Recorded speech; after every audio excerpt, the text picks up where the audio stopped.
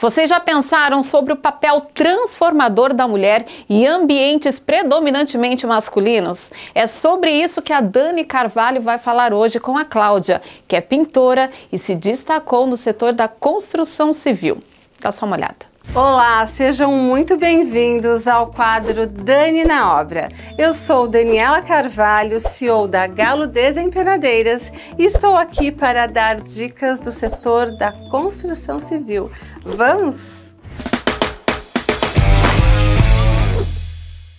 E hoje eu estou aqui com a pintora profissional Claudinha. Claudinha, como que você se posiciona num ambiente que normalmente é masculino? Então, Daniela, Muitas vezes eu me retraí. Eu achava que sempre eles eram melhores que eu.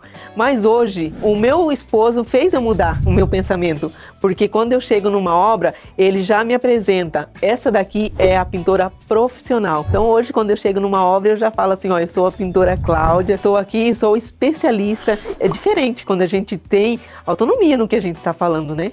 A gente chega e fala, não, eu sou uma profissional. Então, Claudinha, nós podemos dizer que lugar de mulher é na obra e que a gente possa incentivar outras mulheres a edificar umas às outras, pintando o nosso país. Obrigada, Dani. Estou muito honrada e agradecida por estar aqui com vocês.